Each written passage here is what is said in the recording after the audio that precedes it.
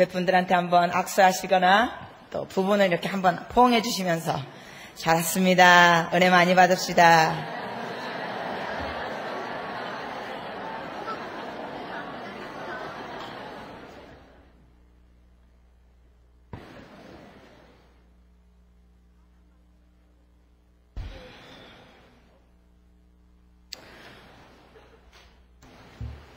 어떤 분들은 하나님을 안 믿으면서도 굉장히 고상하게 깨끗하게 그렇게 사시는 분들이 계십니다.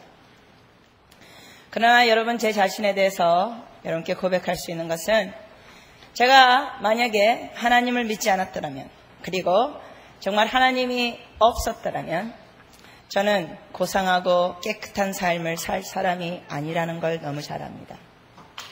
하나님이 안 계셨더라면 저는 한 번밖에 안 사는 이 세상. 저는 재밌는 것이라면 뭐든지 할 것이고, 기분 좋은 것이라면 뭐든지 할 것이고, 한 남자 갖고 안 됩니다. 한 번 살다 죽을 건데, 그저 뭐, 연계도 좋고, 예? 저 마음껏 만질 수 있는 거 만지고, 느낄 수 있는 거 느끼고, 보고 싶은 거 다 보고, 할 수 있는 거 다 하면서 살 사람입니다. 그러나 그렇게 살지 않는 이유는 하나님이 살아계시기 때문에 그렇습니다. 여러분, 우리가 새롭게 되기 원하고 영적으로 성숙해지기 원하는데 거기에 중요한 요소가 뭐냐? 하나님을 자꾸만 알아가야 합니다. 하나님을 자꾸만 알아가면 우리의 삶의 목적이 달라지고 가치관이 달라지고 우리의 심령이 달라지고 우리의 생각이 달라지지 않을 수가 없습니다. 어떤 분들은 제 강의를 들으시면서 강의가 아주 쉽다 그러고 또 재밌다 그렇게 말씀하시는 분들이 계십니다. 아, 또 강의 끝날 때 어떤 여자 집사님들은 막 악수를 하시면서 아, 같은 여자로서 너무 자랑스러워요 이러십니다. 그런데 여러분이 아셔야 될 것은 저는 예수님 믿기 전에는 저는 말을 못했고 말을 못했기 때문에 말을 안 했던 사람입니다. 저는 너무나 너무나 열등감 속에 있었고 수줍어했고 부끄러워했고 말을 안 하는 게 차라리 낫다고 생각했었습니다. 왜? 말을 안 하면 그래도 괜찮아 보일 수 있고 괜히 말을 해가지고 더 바보스러운 모습 보이지 않겠다고 저는 생각했던 사람입니다. 저의 개인적인 내용을, 배경을 조금 잠깐 말씀드리자면 저는 너무나 외롭게 어린 시절을 보냈습니다. 외로운 이유 중에 하나는 부모님과 같이 살지를 않았습니다. 제가 한 3살 반 때쯤 저희 아버님이 하시던 작은 사업이 너무나 어려워져 가지고 결국 다 날리게 되면서 해외로 가셔서 일을 하시면서 월급을 우리 집으로 보내셨습니다. 너무나 가정이 어려우니까 아버지도 해외 나가셔서 일하시고 어머니도 지방에 가서 일하시고 저는 친할머니, 할아버지와 삼촌과 두 고모 사이에서 컸습니다. 엄마, 아빠라는 단어는 제 입에서 나올 필요가 없었습니다.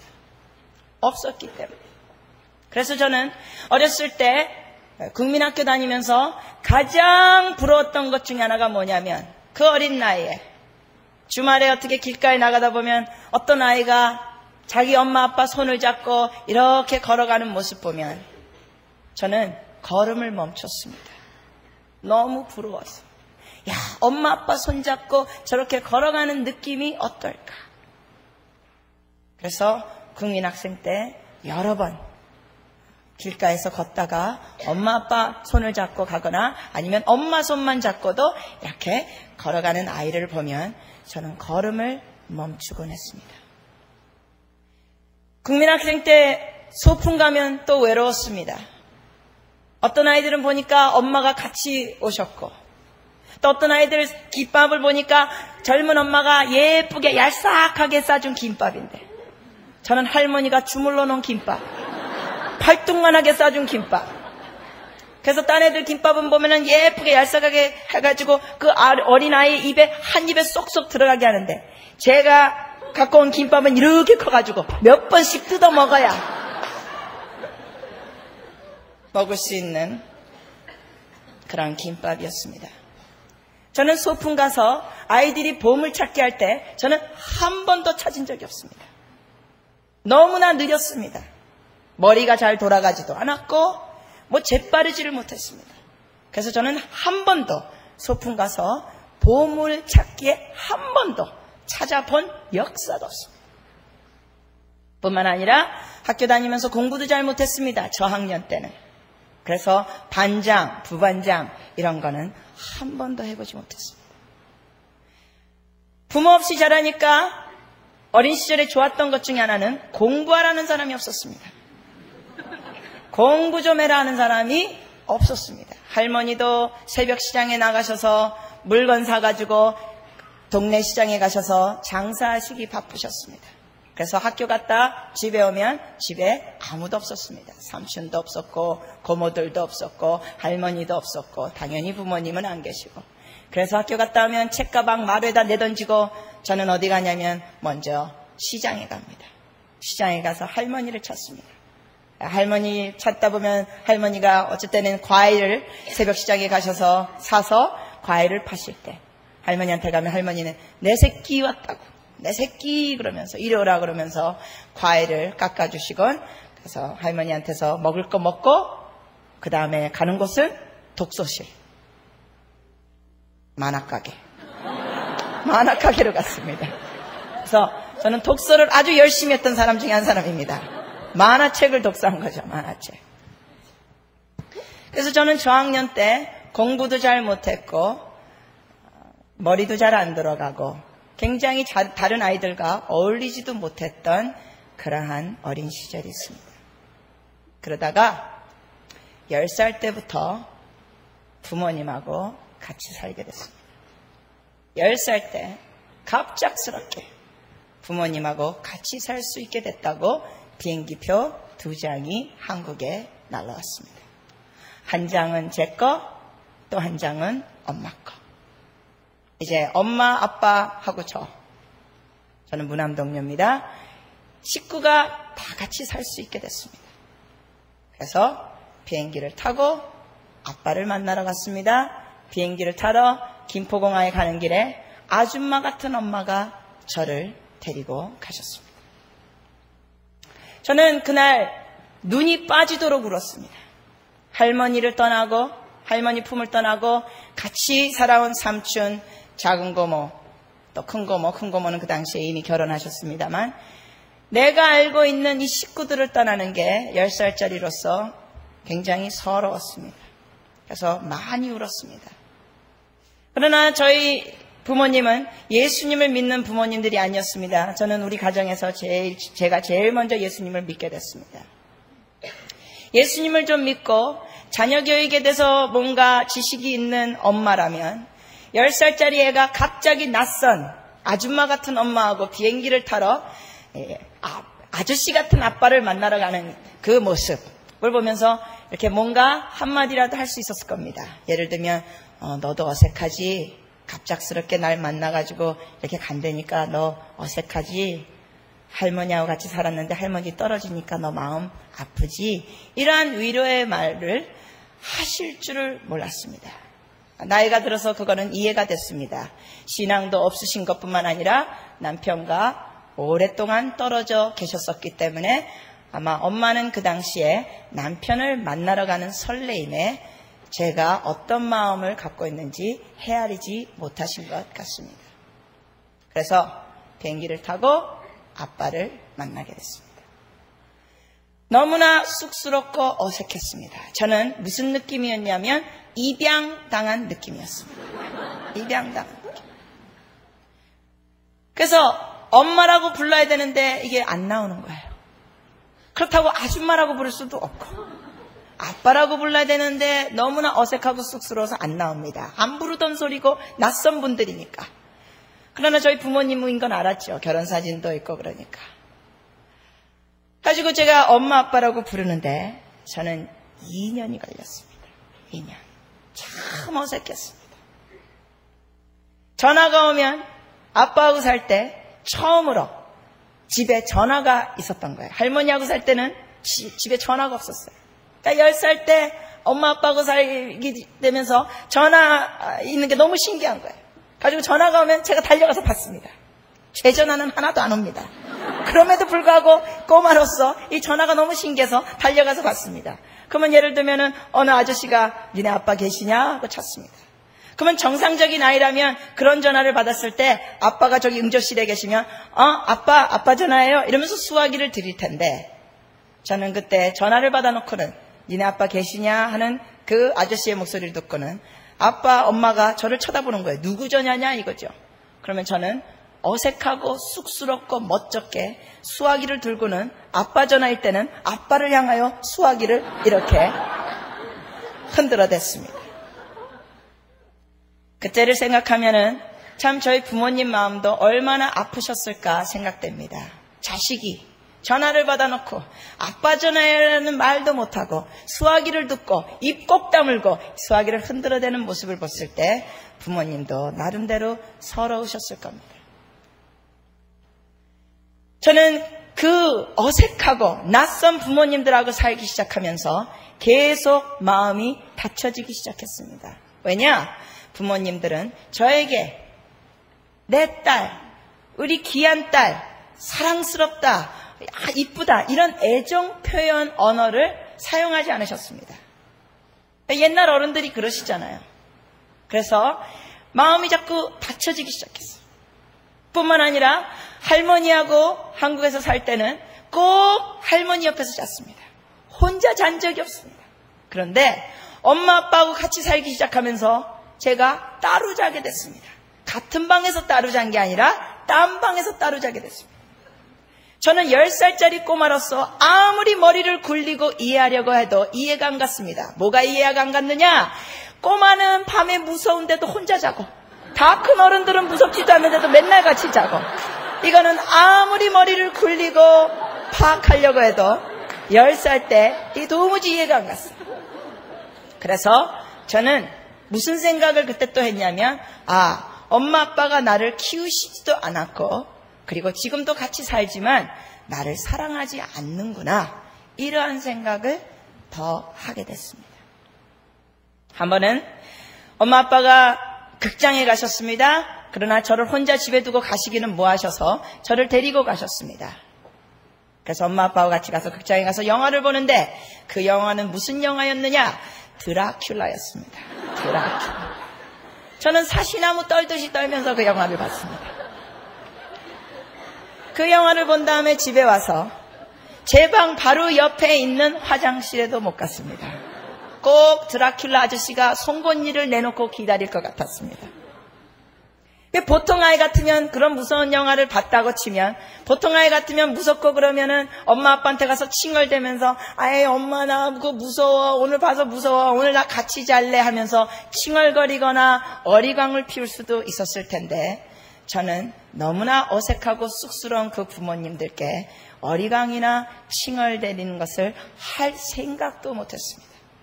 그래서 혼자 너무너무너무 무섭게 그리고 외롭게 자곤 했습니다.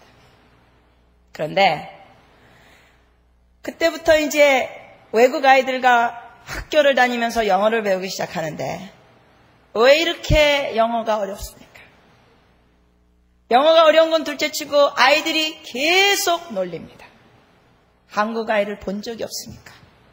그래가지고 애들이 쫓아오면서 어떻게 놀리냐면 한국말을 흉내내면서 저한테 놀립니다. 놀립니다. 이럽니다. 칭총창총총총 칭총총. 자기네들 귀에 듣기에는 한국말이 그렇게 들리니까 절 따라오면서 칭총창총총총총 이럽니다. 어떤 아이는 그것도 모자라서 제가 동양아이라고 동양아이라서 자기네들 눈보다 좀 작다고 절 쫓아오면서 칭총 창총 총총 칭총 이러면서 쫓아옵니다. 제 눈이 그래도 한국 사람 눈치고는 꽤 큰 편인데 그러면서 쫓아오고 어떤 짓궂은 사내 아이는 저를 툭 때리거나 발을 꽉 밟고는 도망가 버립니다.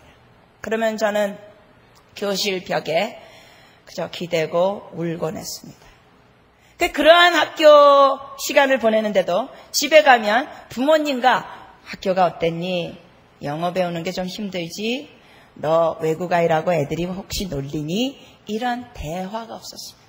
대화가 없습니다. 그저 밥 먹을 때 더 먹어라. 아, 더 있다. 더 먹어라. 어, 숙제 다 했냐? 가서 자라. 심오한 대화. 그래서 굉장히 제 마음이 공허해지기 시작했습니다. 그래서 일기장에 썼습니다. 죽고 싶다. 외롭다. 하루는 학교 갔다 오는데 어머니가 화를 내십니다. 저한테 소리를 지르십니다. 이놈의 기집애야, 네가 뭐가 부족해서 죽고 싶어? 부모가 시퍼렇게 살아있는데 너 뭐가 부족해서 죽고 싶어?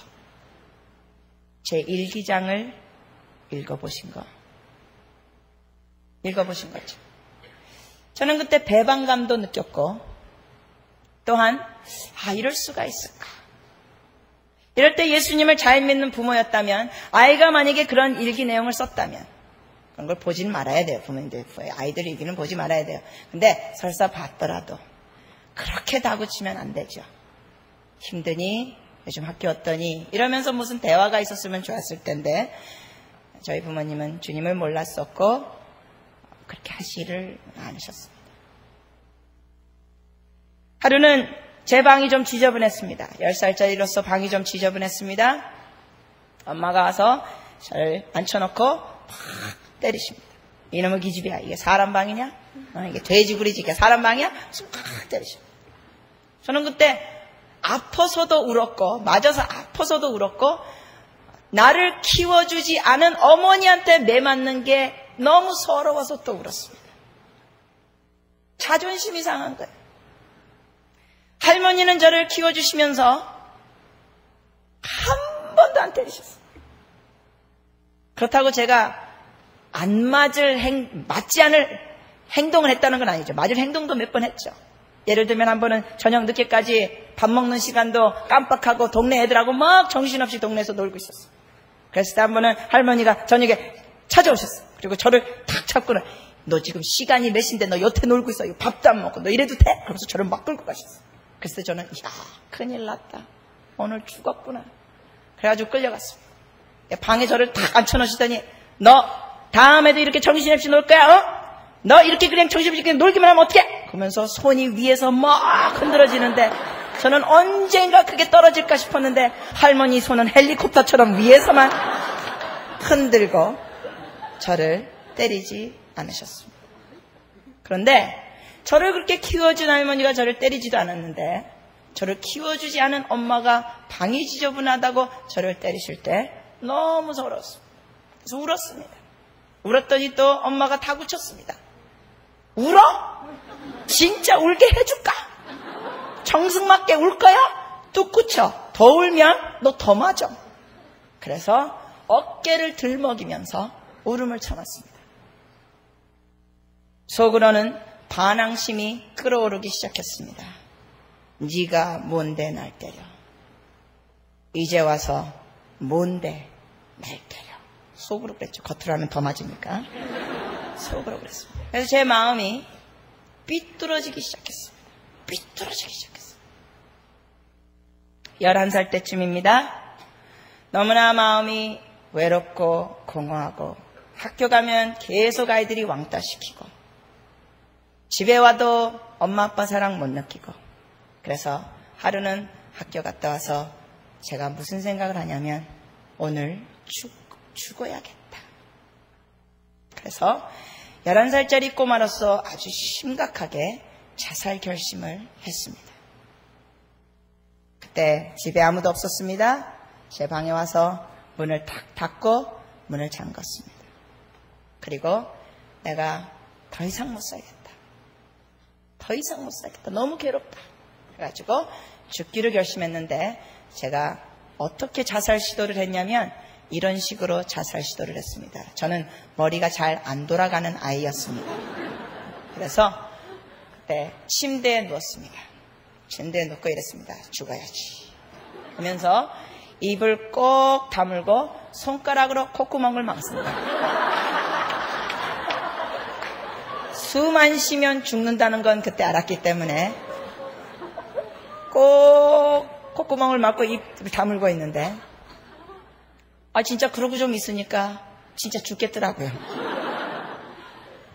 아 그래서 막고 있으면서 속으로 이런 생각이 들었습니다. 어, 나 진짜 이러다가 죽는 거 아닐까? 그러면서도 손가락을 놓지 않았어요. 왜냐하면 그때는 죽기로 결심했기 때문에. 제 머리가 그 수준이었습니다. 아, 계속 붙잡고 있는데 진짜 이러다간 꼴깍 넘어갈 것 같아요. 진짜 이러다 죽을 것 같아. 근데도 계속 손을 잡고 있었어요. 나 이러다 정말 죽는 거 아닌가 싶었을 때 확 스쳐가는 얼굴이 있었습니다. 저는 그때 예수님 믿지 않았습니다. 확 스쳐가는 얼굴은 누구의, 누구의 얼굴이었겠습니까? 할머니 얼굴이었죠. 할머니 얼굴이 확 스치면서 그때 11살짜리 꼬마로서 이렇게 생각을 했습니다. 아, 할머니가 계시지. 내가 지금 죽으면 안 되지. 내가 살아야지. 내가 살아서 한국 가서 할머니 또 만나야지. 이 생각을 하면서 콧구멍을 났어요. 헐레벌떡 숨을 쉬어요. 저는 그때 머리가 나빴던 게 너무나 감사합니다. 제가 만약에 머리가 팍팍 돌아가는 아이여가지고 칼로 뭐 어떻게 했었으면 저는 그때 심각하게 다쳤거나 아니면 죽었을 수도 있었을 겁니다. 11살 때 그렇게 자살 시도를 해봤었습니다. 그리고 계속 학교 다니고 집에 있다가 마음이 더 뒤틀리고 삐뚤어지기 시작했습니다. 아이들하고 어울릴 줄을 몰랐습니다. 너무나 마음이 외로웠습니다. 그 이후로도 죽고 싶은 생각을 너무 많이 했습니다. 어디서 뛰어내려서 죽을까? 높은 계단 몇 층에 올라가면은 어떤 계단은 보면 이렇게 빙빙 돌아가는 계단들이 있습니다. 그러면 그 가운데 보면은 이 계단층들이 다 내려보면서 무슨 생각을 했냐면 내가 여기에서 떨어지면 내 골이 어떻게 깨질까? 내 창자가 어떻게 튀어나올까? 이러한 너무나 너무나 어두운 생각들을 하면서 저는 학창 시절을 보냈습니다. 그러다가 대학교 1학년 때 복음을 듣게 됐습니다. 하나님이 나를 사랑하셔서 예수 그리스도를 보내시고 십자가에 못 박혀 죽게 하셔서 인간과 하나님 사이에 예수님이 다리가 됐다는 것을 듣게 됐습니다. 그러면서 그날 눈물 콧물 흘리면서 주님을 영접하게 됐습니다. 그러나 주님을 영접해서도 제 인생이 확 변하지는 않았습니다. 그 이유 중에 하나는 저를 가르치는 교사가 굉장히 율법주의였습니다. 여러분, 율법은 사람을 살리지 못합니다. 율법주의였어요. 그래서 저는 어, 그 율법주의 그 가르침 안에서 굉장히 죄책감을 느끼면서 살았습니다. 나름대로 성경 공부도 하고 암송도 하고 아침에 일어나서 혼자 큐티 경건의 시간도 갖고 전도도 하고 하는 거 다 했는데도 불구하고 더 해야 된다는 그런 느낌들. 그러면서 어딘지 모르게 내가 하나님 앞에 귀한 존재라는 것을 깨닫지 못했습니다. 그리고 그 분은 또 제게 가르치시기를 성경만 읽으면 다 된다. 성경만 읽으면 된다. 계시는 성경으로 다 끝났다. 이렇게 가르치셨습니다. 그래서 저는 성경을 읽었습니다. 그런데 안타깝게도 성경을 읽을 때 많은 경우 이해가 안 됐고 너무나 고리타분했고 너무나 재미가 없었습니다. 그래서 신앙생활이 점차 점차 시들어지고 마음이 식어지고 마음이 마음의 기쁨을 체험하지 못하는 그러한 신앙생활을 하게 됐습니다. 그러나 감사하게도 주님의 은혜 가운데 하나님께서 살아계시고 기록된 성경 말씀을 통하여서도 말씀하시지만 하나님께서는 성령을 통하여 마음의 감동도 주시고 생각도 주시고 다양한 방법으로 하나님께서 개인적으로 말씀하신다는 그러한 가르침을 받게 됐습니다. 내 양은 내 음성을 듣고 나를 따르느니라. 그런 가르침을 받게 됐습니다. 그러면서 열린 마음으로 주님께 나가게 됐습니다. 주님께 마음을 고백하면서 주님께 질문도 했습니다. 때때로는 기도할 때 주님께 이렇게 질문도 했습니다. Lord, 어쩔 때는 기도할 때 영어로 기도합니다. 그럼 하나님이 또 영어로 대답하시고 한국말로 또또 한국말로 대답하시고 아무튼 하나님 언어는 하나님께서 만드신 거니까 하나님께 나가지고 이랬습니다. Lord, what gives you joy? 주님, 주님께 무엇이 기쁨이 됩니까? 라고 여쭤봤습니다. 그랬더니 즉각적으로 제 마음에 주님께서 말씀하시기를 you 하시더라고요. 너다. 여러분 그런 간단한 주님과의 대화 속에서 저의 심령이 외로움에서 기쁨으로 좌절에서 소망으로 공허함에서 사랑을 체험하기 시작했습니다. 여러분과 오늘 나누고 싶은 게 뭐냐? 우리가 새로워져야 합니다. 변화받아야 합니다.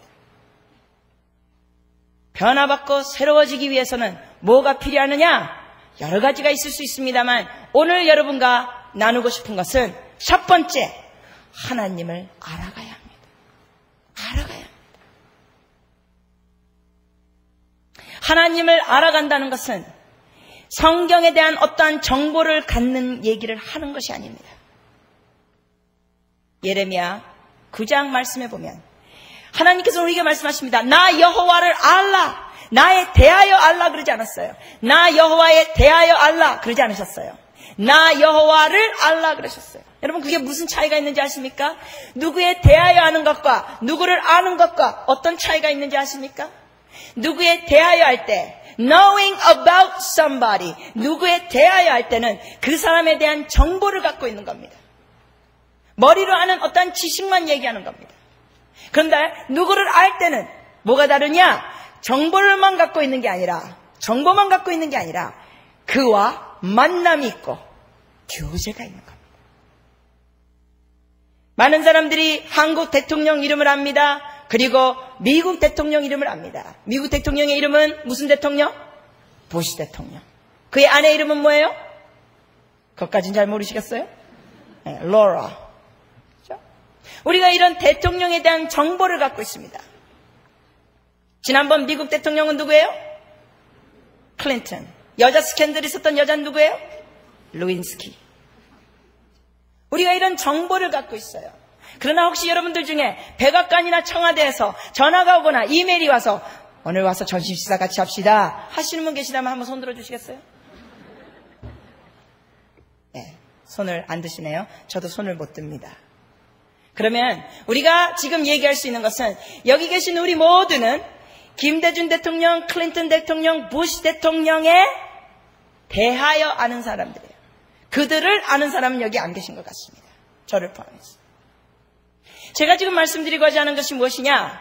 예수 믿는 사람들이 변화가 너무나 너무나 더디고 성숙하지 않는 이유 중에 하나가 뭐냐? 대통령에 대하여 알고 있는 식으로, 대통령에 대하여 알고 있는 수준으로 하나님에 대하여 알고 있다는 겁니다. 여러분, 그렇게 있을 때 영적인 성숙이 안 됩니다. 뭐가 있어야 되느냐? 만남이 있어야 됩니다. 교제가 있어야 됩니다. 그래서 우리 예레미야 9장 23절, 24절 말씀을 보면 주님께서 이건 자랑하지 말라. 세 가지는 자랑하지 말라. 그러나 자랑할 자는 이것으로 자랑할지니 그러면서 말씀하십니다. 23절, 24절 한번 같이 읽으시겠습니다.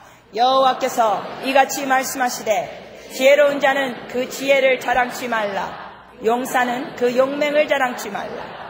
부자는 그 부함을 자랑치 말라. 자랑하는 자는 이것으로 자랑할지니 곧 명철하여 나를 아는 것과 나 여호와는 인애와 공평과 정직을 땅에 행하는 자인 줄 깨닫는 것이라. 나는 이 일을 기뻐하노라. 여호와의 말이니라. 여러분 이 말씀을 보시면 곧 명철하여 나에 대하여 아는 것과 이렇게 기록되지 않았어요 하나님의 말씀에 대하여가 빠진 것은 구체적인 목적과 이유가 있습니다. 무슨 목적과 이유냐? 하나님께서는 우리가 하나님에 대하여 아는 정보만 갖고 있는 백성들이 되는 걸 원치 않으십니다. 하나님이 원하시는 건 뭡니까? 나를 만나라. 나와 교제를 하자. 정보만 갖고 있는 신앙이 아니죠. 그래서 히브리어로 이 안다는 거는 야다라는 단어입니다. 야다라는 단어. 그 단어의 의미가 뭐냐? 정보를 얘기하는 안다라는 단어가 아닙니다. 그 히브리 단어의 안다라는 단어의 의미가 뭡니까? 가슴으로 하나님을 만나는 겁니다. 경험하는 겁니다. 여러분, 하나님을 만나는 체험이 있으시기를 바랍니다. 그럴 때 확신이 있는 신앙이 됩니다. 그럴 때 성숙한 그리스도인이 됩니다. 오늘날 한국교회 성도들은 많이 있습니다. 30%라 그럽니다. 천만이 넘는다 그럽니다. 천만이 넘는 크리스찬들이 있는 나라에 안타까운 모습 중에 하나가 뭐냐? 하나님에 대하여 아는 성도님들이 너무 많이 있습니다. 정보만 갖고 있는 거예요.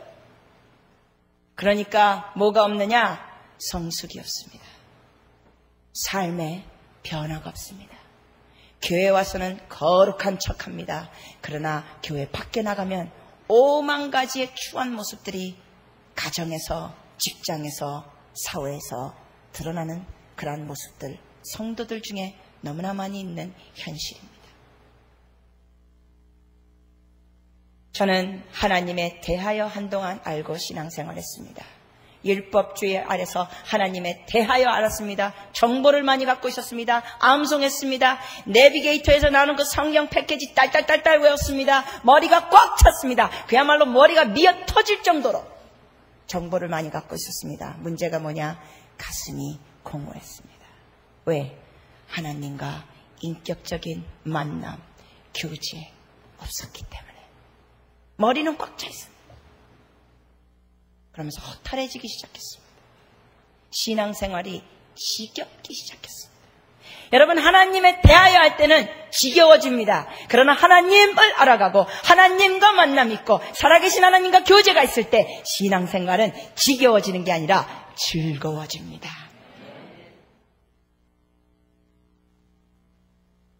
우리가 새로워지기 위해서는 하나님을 알아가야 합니다. 그러면서 하나님께서 말씀하시죠. 자랑할 자는 이것으로 자랑할지니 곧 명철하여 나를 아는 것과 나 여호와는 인애와 공평과 정직을 땅에 행하는 자인 줄 깨닫는 것이라 나는 이 일을 뭐하노라 기뻐하노라 여호와의 말이니라. 여러분 주님께 기쁨을 드리기 원하십니까? 드리기 원하십니까? 그럼 주님께서 원하신 것이 무엇이냐? 나를 알아가라는 거예요. 나 여호와를 알아가라. 그러면 우리가 생각해 봐야 될 것은 어떻게 하나님을 알아갈 수 있느냐? 어떻게 하나님을 더 만날 수 있느냐? 이거죠. 여러분, 연애할 때 그 여자나 그 남자를 알아가기 위해서 뭐 합니까? 뭐 합니까? 데이트하죠. 데이트하면서 뭐 합니까? 뭘 같이 보냅니까? 시간을 같이 보내는 거예요, 시간. 주님은 우리에게 말씀하셨습니다. 너희는 나의 친구라. 내가 너희를 더 이상 종이라고 부르지 않는다. 너희를 나의 친구라고 부릅니다. 친구끼리 뭐 하자? 시간을 같이 거예요. 요한복음 15장 15절입니다. 주님께서 우리가 말씀하셨어. 너희는 나의 친구라. 친구끼리 더 친해지고 서로 알아가려면 시간을 같이 보낸다.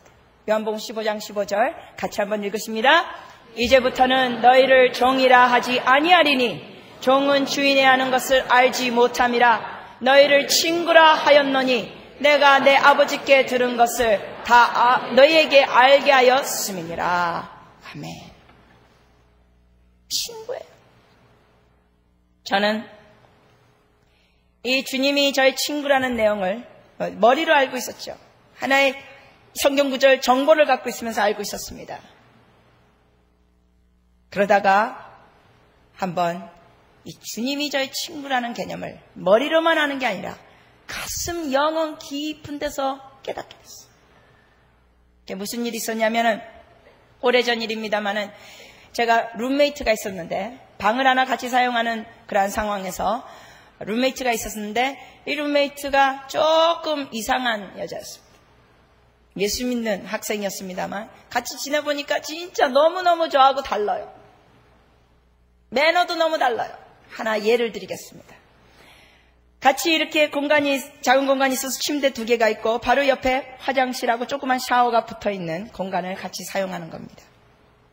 하루는 아침에 일어나서 화장실을 사용하러 들어갔는데 이미 제 룸메이트가 사용한 흔적이 역력히 남아 있었습니다. 이것이 뭡니까? 변기에 큰 일을 보고 룸메이트가 내리질 않았습니다. 뭘 잘 먹었는지 덩어리도 컸습니다.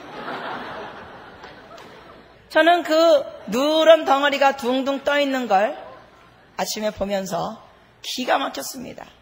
어쩌자고 이런 걸 안 내리냐. 아니, 작은 일 보고 안 내리는 거는 전 이해가 가지만, 어떻게 큰 일 보고 안 내리냐. 이거 냄새도 나고. 그래서, 야, 진짜 룸메이트 잘못 걸렸구나 싶었어. 가지고 그걸 누르고 아무튼 투덜거리면서 화장실을 썼습니다. 그런데 한 이틀 후인가요? 아침에 일어나서 화장실에 들어갔더니 또 떠 있었습니다. 와, 이해가 안 가는 거예요. 한 번쯤은 어떻게 또 깜빡해서 뭐 급해서 바빠서 그럴 수 있다 싶었는데, 아, 이 또 그러니까 이럴 수가 있나 싶었어요.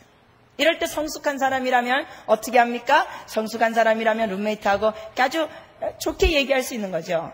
자매님, 좀 미안하지만 내리는 거 좀 잊어버리시는 것 같은데 좀 기억해서 눌러주시면 좋겠어요. 이렇게 성숙한 그리스도인은 그런 대화를 할 수 있겠지만 저는 그 당시에 그런 성숙함을 갖고 있지 않았었습니다. 그래가지고 샤 진짜 잘못 걸렸네 그러면서 혼자 씩씩거리고 있었습니다.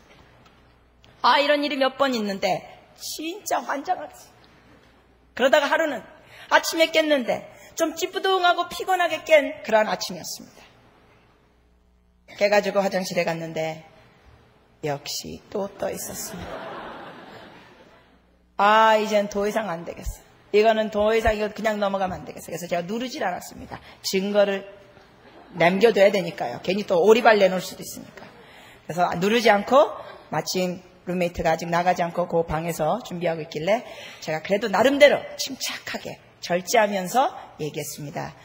아, 자매님 미안하지만 저 큰일 보시고 안 눌렀거든요. 제가 화장실 좀 쓰고 싶은데 좀 눌러줄래요? 여러분 보통 사람 같았으면 그런 상황에서 어떤 반응을 하겠습니까? 보통 사람 같으면 여러분 같으면 어떤 반응 하겠습니까? 아유 미안해요. 아유 내 정신 좀 봐. 그러면서 아마 달려가서 눌렀을 거예요. 저는 그걸 기대했습니다. 근데 이 룸메이트가 저를 뻔히 쳐다보면서 하는 말이 아 제가 안 눌렀어요? 그럼 가서 누르고 쓰세요. 어, 환장하겠더라고요. 그래서 제가 그날 와, 속으로 부글부글 끓어오는 거를 절제하면서 참으면서 그래도 다소곳이 이렇게 말해줬습니다. 사실은 제가 벌써 몇 번 자매님 거 누르고 썼거든요. 근데 오늘부터는 자매님이 자매님 거 누르고 제 거는 제가 눌렀으면 좋겠습니다. 이렇게 말했어요. 어, 그랬더니 막 그런 거 가지고 어 이러면서 투덜투덜거리면서 걸어가는데 다 들려 다 들려 그 소리가. 끝까지 듣까 맞췄다. 어이 저더러 그러는 거예요 와그 모습 보니까 또 열받았어요. 뭐 저런 게 있어. 미안하다는 소리도 그래가지고 다행히 제가 그때는 그 룸메이트한테 뭐 어떻게 하지는 않고 룸메이트 나간 다음에 기도 시간을 가졌습니다 그래도 그 수준은 있었어요 그 당시 그래서 하나님께 그랬습니다. 하나님, 어쩌자고 저런 룸메이트를 붙여줬습니까? 주님 싸고 누르지도 않고. 주님 미안하다는 소리도 없고.